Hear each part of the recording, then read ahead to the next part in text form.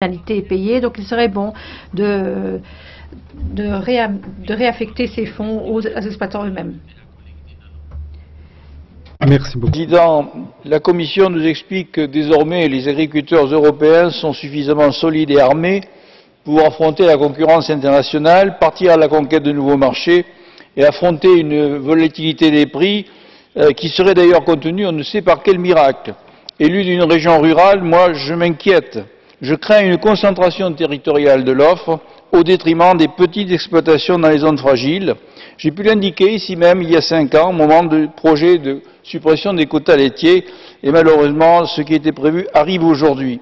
Une régula- régulation est nécessaire pour les productions qui ont un prix trop volatile et il me semble aujourd'hui nécessaire de faire ce travail-là, de retravailler sur cette question-là. Euh, je m'inquiète aussi des, des conséquences sur euh, l'élevage bovin euh, à viande, les, les- les effets collatéraux que pourrait avoir sur cet élevage euh, une trop grande difficulté pour le lait.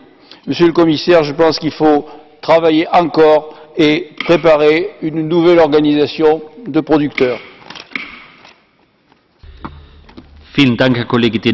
Merci à Monsieur Denano pour une minute, Monsieur Kousmiuk. Merci, euh, Monsieur le Président. Monsieur le Commissaire, le secteur laitier dans mon pays, la Pologne, fait face à